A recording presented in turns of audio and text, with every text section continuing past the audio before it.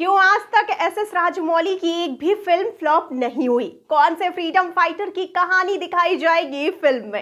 Hello friends मैं श्रुति और आप देख रहे हैं आपका अपना फेवरेट चैनल बॉलीग्रैंड स्टूडियोज हमारे इंडियन सिनेमा के सुपरस्टार डायरेक्टर अगर कोई है तो वो है एस एस राजमौली सर जिनकी आज तक एक भी फ़िल्म फ्लॉप नहीं हुई है। उनकी सारी ही फ़िल्मों ने हिट से लेकर सुपर हिट का ही टैग हासिल किया है। लेकिन ऐसा कैसे? क्या है राजमौली का सीक्रेट मंत्रा तो सबसे पहले तो राजमौली सर की हर फ़िल्म की स्टोरी काफ़ी इफ़ेक्टिव और ऑडियंस को जोड़े रखने वाली होती है। वो अपनी फ़िल्म के सभी कैरेक्टर्स को एक समान इंपॉर्टेंस देते हैं और उनके हर एक किरदार की बैक स्टोरी काफ़ी दिलचस्प होती है।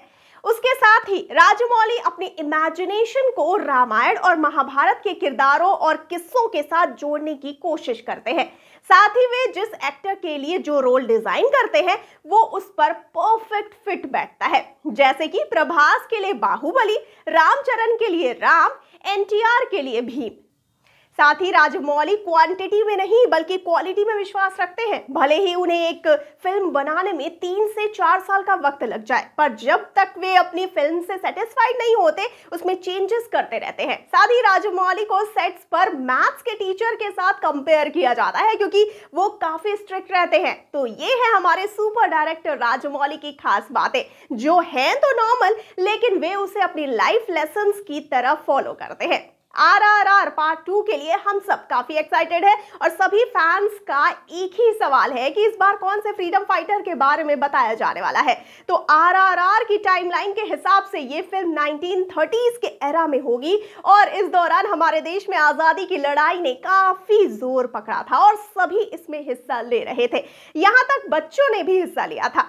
साथ ही 1938 में हमारे देश के सबसे यंगेस्ट फ्रीडम फाइटर बाजी राउत पर अंग्रेज़ों ने गोली चलाई। और हमारा ये अनसंग हीरो सिर्फ़ 12 साल की उम्र में ही शहीद हो गया।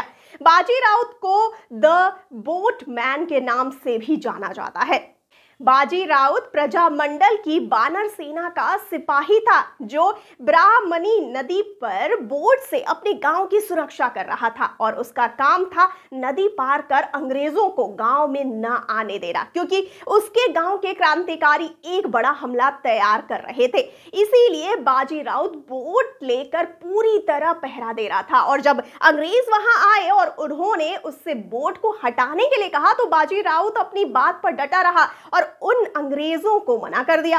आखिर में जब वो नहीं माना, तब अंग्रेज़ों ने उसे गोली मार दी। इस छोटे बच्चे ने खुद पर गोली तो ले ली, लेकिन अंग्रेज़ों को अपने गाँव में नहीं घुसने दिया और उसके साथ उसके दो दोस्त लक्ष्मण मलिक और फागू साहू को भी अंग्रेज़ों ने गोली मार दी।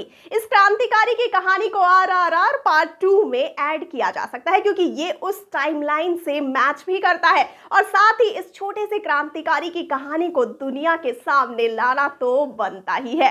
तो आपका इस पर क्या कहना है? अपनी राय हमें बताइए कमेंट सेक्शन में, और जाते जाते इस वाले वीडियो को कर दीजिए लाइक और शेयर और चैनल को सब्सक्राइब करना बिल्कुल ना भूलिए। और मुझे यानी श्रुति को दीजिए इजाज़त। नमस्कार।